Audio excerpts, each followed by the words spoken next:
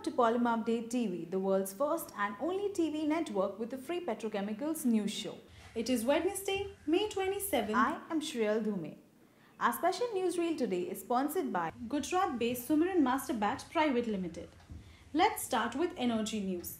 Crude oil prices climbed higher on Tuesday, uplifted by an assurance that OPEC and its allies would follow through their commitments on slashing down the crude oil supplies amidst a steady rise in fuel demand.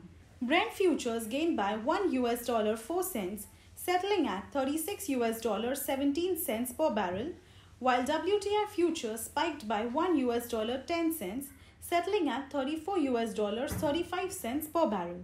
According to Vandana Hari of Vanda Insights, crude futures were weakening early Wednesday in Asia as rising US China tensions returned to the fore and Russia signaled a dovish stance ahead of the June 9 OPEC non OPEC ministerial meeting, which will decide on the alliance's production restraint policy for the second half of the year.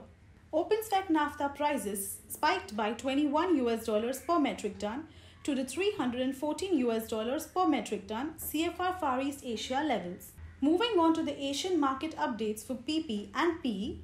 In PP, this week PP prices gained in Asia Prices climbed mainly on account of bullish upstream energy values and higher propylene feedstock rates, coupled with improved regional demand trends. Strong PP futures on the Dalian Commodity Exchange in China further supported the price gain. In LLDP, LLDP prices climbed higher in Asia this week. The price rise was supported by bullish upstream crude, naphtha, and ethylene values, coupled with higher import offers from the overseas producers.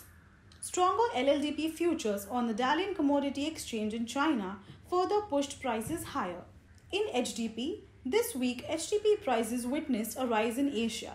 The price rise was attributed to firmer upstream energy and ethylene rates coupled with a lift in buying sentiments in the region. Higher import offers from the overseas suppliers further supported the price rise. For detailed price assessments of PP, PE and PVC, we invite you to subscribe to Polymer Update.